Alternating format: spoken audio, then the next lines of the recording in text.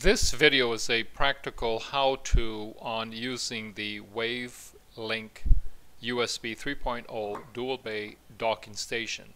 Who wants to look at an unboxing? I want to know how to use the darn thing because instructions are are, are certainly lacking. Um, so here it is. I've put a three terabyte disk into the target slot and now remember to turn the unit on. I was a little bit frustrated, but uh, not realizing that there's actually a switch in the back of it. So make sure you turn that switch on. And they do say don't uh, wait till the unit powers down before you pull the unit out from its uh, uh from the bay. So uh, what else?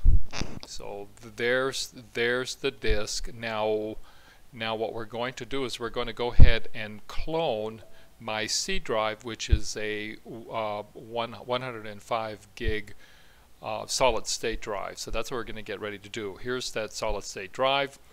We're going to stick it in the back. I'm paying attention to where the connectors are, making sure that I've got it in the right position. Uh, so there's the uh, source disk, which is the 105 gig, and there is the uh, target, which is where it's going to be copied to, which is the 3 terabyte uh, hard drive. Now, this is where the instructions are a little bit lacking. Well, how, how do you initiate the transfer?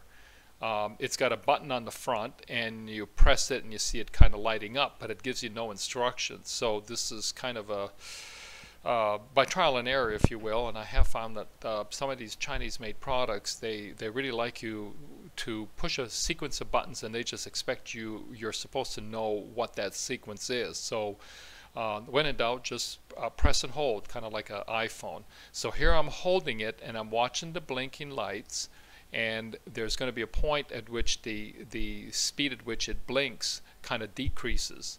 And that's when I remove my finger and and then I hit it one more time and I'm waiting and now I actually see on the left side which is the 25% uh, uh, status bar if you will uh, showing me that that's it's locked in and it's starting to copy 25% of the uh, source disk to the target disk.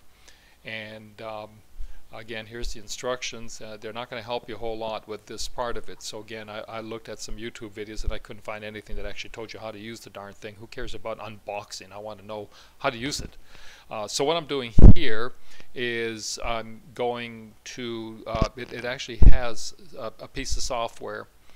Um, I'm also using disk management. And what I did is I went ahead and I completely copied my my C drive uh, which is a solid state and I didn't want to take it out and stick it in my computer I actually wanted to confirm that I actually had a copy so uh, going to the uh, window left corner right clicking and going to disk management I went into the disk management tool uh, which is a Windows-based piece of software. Quite, you, you, you really have to become uh, proficient or, or, or certainly understand how that program works because it's pretty darn good.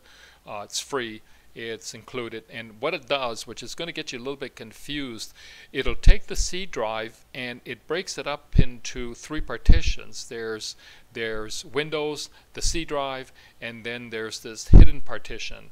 So some of that is going to throw you because once you copy it on the source disk and on the target disk, you're going to see both three on the source and th three partitions on the source and three on the target.